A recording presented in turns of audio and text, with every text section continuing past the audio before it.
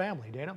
Well, doctors are learning new ways that COVID-19 can affect the body and blood vessels with deadly consequences. And one Chicago family mourning the loss of their daughter is uh, sharing their story.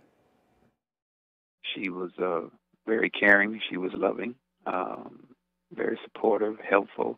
It was very devastating. Um, it was a shock to all of us. It's been two weeks since Reginald Williams lost his daughter, 32 year old Brittany Poole, a cook at UIC Hospital who tested positive for COVID 19 and was hospitalized in late March. She was released a week later and recovering at home, but on April 14th suddenly died after walking up the basement stairs. She heard a loud noise. That's when I said she got up, and Brittany had uh, fell over and collapsed on the floor in the, in the kitchen.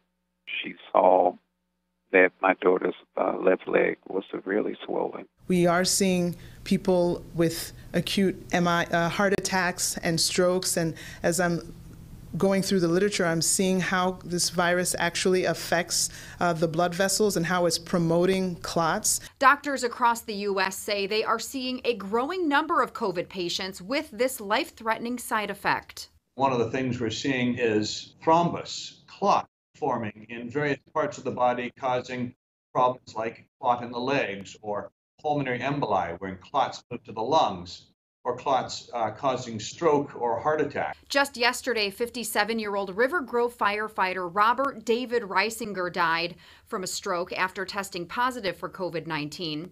Why this happens is a big puzzle facing doctors and how to treat it. No one is giving the necessary medications to make sure that blood clots don't set up. So far, medical experts say low doses of blood thinners isn't enough, suggesting a higher prophylactic dose in the ICU. Medication Reginald Williams says his daughter wasn't given. It's a necessity. I think a lot of lives would have been spared had this uh, been, you know, taken care of beforehand. And doctors on the front line are sharing more stories, saying when they draw blood from COVID patients, it clots in the tubes and catheters and IV lines. They have also noticed patients developing strange rashes and swollen wounds on their fingers and toes. Joe. Mm.